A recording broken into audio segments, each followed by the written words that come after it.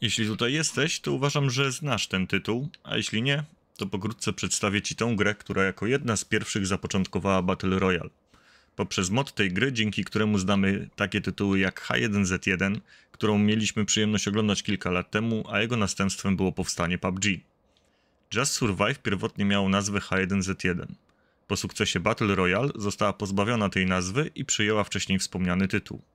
Była to gra typowo survivalowa, z opcją budowania baz i rajdowaniem innych graczy.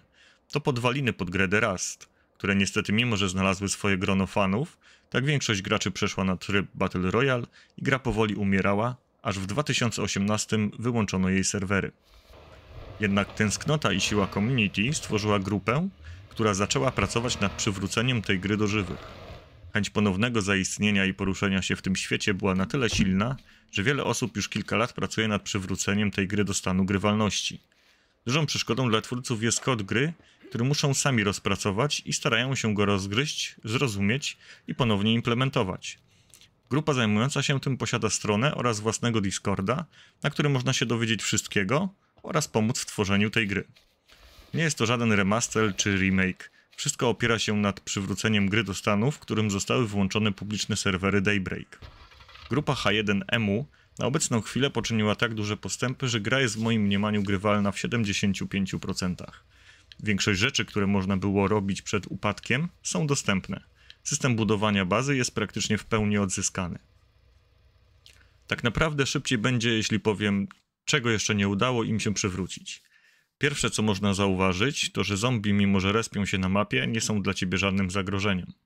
Jest ewidentny brak AI, które by nimi sterowało i poruszało. Nie da się ich potrącić, ani oni nie mogą ciebie zranić. Jedyne co można, to zabić je przy użyciu broni palnej, ale nie ma się z tego żadnych korzyści, ponieważ nie można przeszukać zwłok. Druga ważniejsza kwestia to brak świateł w pojazdach, przez co nie można widać poruszających się samochodów, ani nie można włączyć sygnalizacji policyjnej. Następnie nie widać żadnej zwierzyny, która by nam zagrażała, ani nie można jej też upolować, a jak dobrze pamiętam, były tutaj wilki, zające i sarny, z których można było pozyskać mięso. Również nie uświadczyłem pogody deszczowej, zatem budowanie kolektora wody nie wiem czy ma sens obecnie, bo ciężko zbierać deszczówkę bez deszczowej pogody. Rozpalenie ogniska również było dla mnie problematyczne, ale prawdopodobnie nie jest to jeszcze zaimplementowane i mimo moich usilnych prób z zapalniczką, czy też rozpaleniem go za pomocą bardziej survivalowego narzędzia, nie udało mi się tego osiągnąć i również nie zauważyłem nigdzie na mapie, aby w jakichkolwiek bazach on występował. Ważną też rzeczą jest brak animacji bicia pięściami.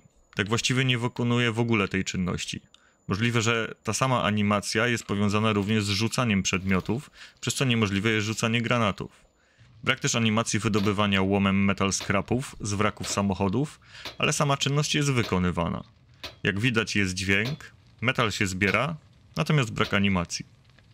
Wierzę, że te wszystkie rzeczy zostaną z czasem wdrążone w grę, ale zajmie to trochę czasu, aż to wszystko uda im się połatać.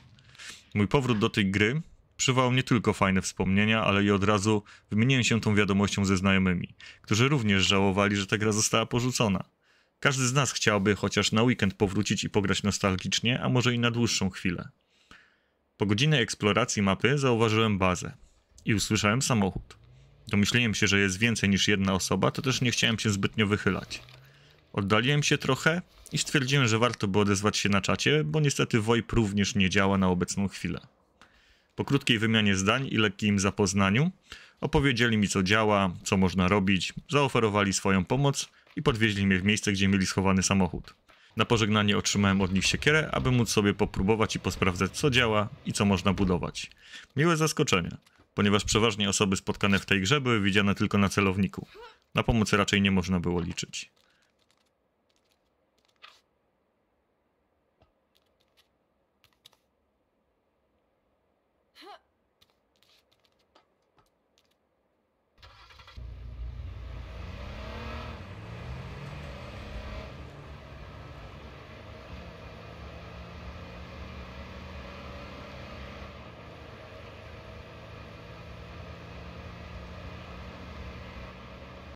Po krótkim testowaniu budowania i zwiedzania mapy, w okolicach Tamy natknąłem się na dwie bazy i wokół mnóstwo pojazdów.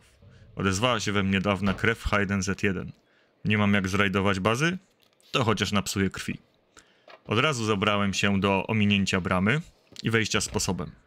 Znaleziony w środku samochód trzeba było oczywiście zniszczyć lub uniemożliwić jego użytkowanie, a na do widzenia zostawić małą niespodziankę, która na pewno spowoduje uśmiech na twarzy, niekoniecznie ich.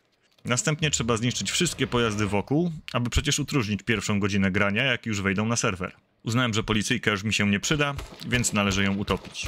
Niestety samochód miał chyba zbyt dużą wyporność i z doświadczenia łowienia ryb wiem, że jak dorzucimy trochę ołowiu, to powinien zatonąć. Może nie zatonął, ale efekt osiągnięto. Przyszedł czas nakłady. Mając tak dużego pick-upa, najlepiej jest staranować, żeby zniszczyć.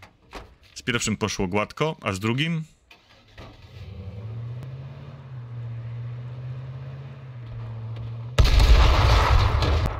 Tak właśnie. Karma. Czułem, że to właśnie ona. Jeśli posiadasz tą grę na Steam i czujesz nostalgiczny urok oglądając ten film, polecam spróbować. Trzeba posiadać tę grę w swojej bibliotece, gdyż mimo, że to projekt community, nie wspiera on piractwa. I trzeba się zalogować na launcher przez ID i hasło ze Steama w celu weryfikacji, czy ta gra jest w naszej bibliotece. Także niestety, jeśli nie posiadasz jej na Steam, to już jej nie zakupisz i nie ma innej możliwości obecnie, aby zagrać w H1M. To tyle. Dziękuję i pozdrawiam Was. Czołem.